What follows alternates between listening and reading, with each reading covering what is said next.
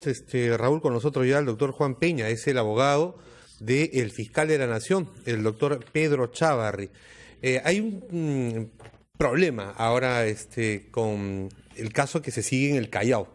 La fiscal eh, Sandra Castro este, acusa a la defensa del fiscal, este, acusa al fiscal de eh, querer este, un imposible legal, se supone, ¿no? Este, vulnerar este, la protección que se supone tienen los testigos este, protegidos precisamente en este caso. Es así, este, doctor Peña, el fiscal de la Nación quiere saber quiénes son los testigos que están este, proporcionando información al Ministerio Público que supuestamente lo compromete.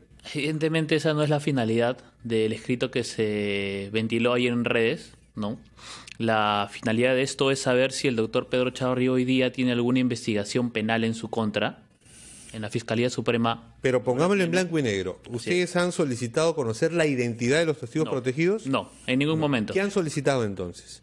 Cuando nos enteramos que en la Fiscalía Suprema no había una investigación a raíz del informe que había enviado a la Fiscalía de Crimen Organizado, nos presentamos a la Fiscalía de Crimen Organizado a solicitar que si en esta fiscalía indebidamente se continuaba una investigación donde se atentaba o se buscaba eh, tener información sobre el doctor Chavarri, a personarnos en ese momento. Lo que conocimos primero nosotros todos en el caso de los críos blancos del puerto era que además de los jueces que, conocemos, uno está en España, eh, fugado, eh, detenido ya y en espera de su proceso de extradición, era que la fiscal en su primer informe este, incluía también al fiscal de la nación. ¿Le corresponde a esa fiscal este, investigarlo o tiene que este, esto ser llevado por otra instancia? Así es. El informe lo, ah, lo, hace en razón a que ella no es competente para investigar a estos magistrados, a la Fiscalía Suprema en lo penal. ¿no?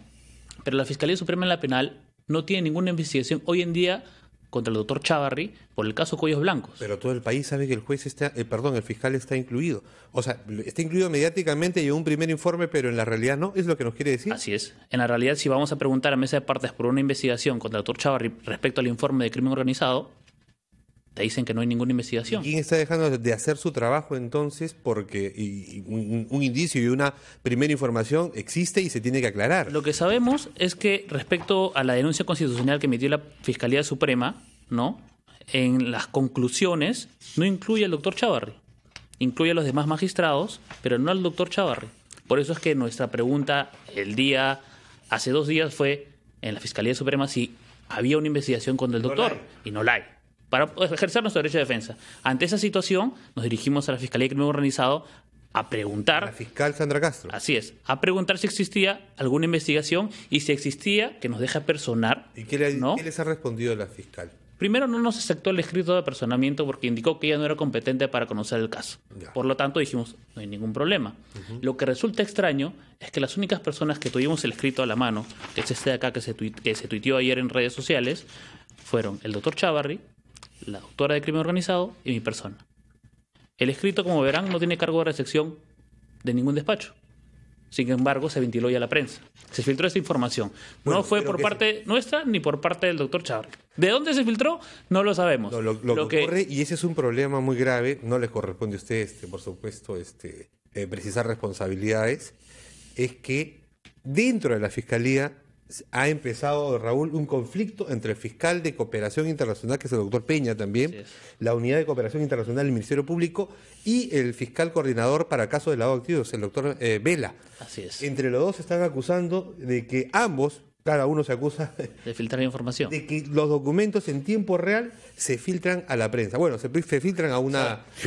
generosamente. Sí, en tiempo real. Lo, es que es lo que nos asombra, ¿no? Como verán el escrito, que es el mismo que se tuiteó, la misma firma. Bueno, nosotros los periodistas estamos este, de plácemes. Sí, claro que sí, lo entendemos. La ciudadanía este, también este, celebra que haya transparencia, pero lo que, se supone que es ilegal. Exacto. Y lo que nos causa asombro ¿no? y nos preocupa es que si está este escrito que ni siquiera se presentó ¿Usted y no es parte de la carpeta, no señala a la doctora Castro. Estuvo en su despacho. Ya. Pero si este escrito que no se presentó, de esto es, de nuestra parte no ha salido, ¿no? si no se presentó y aún así ha sido filtrada a medios de comunicación, imaginamos por qué se dan atentados contra personas que están, entre comillas, protegidos. Doctor Peña, en realidad usted sabe, todo se filtra. Sí, eso es. Eso todo se filtra. Eh, no es que el periodista hackee una cuenta. claro que no, es- no, no, se le entregan los documentos, hay que Sí. decirlo, ¿no? Lo- ¿Con miedo a los periodistas? Sí, porque esa es información valiosa. Lo, lo peligroso es qué información es la que pueden dar a, conocer, ¿no? Y lo, el peligro que ponen en realidad a personas Sí. que colaboran con la investigación y que nosotros estamos de acuerdo con que se mantengan su... su, Entidad reserva. su- exacto, tal cual. Bueno, esa es la situación entonces Muy bien. este, que tenemos esta mañana también, Raúl. Muy bien, bueno, pues muchas gracias por su presencia. No, gracias a ustedes por dar- darnos que nos, este, que un nos espacio. deja preocupados, pero en fin. Sí, no, gracias por darnos un espacio y, y dar nuestra opinión, ¿no? Eh, fue, nos, fue, nos causó mucho asombro lo, lo que sucedió el día de ayer en las redes sociales. Muy bien, muchas gracias. El doctor Juan Peña, abogado del fiscal de la Nación, Pedro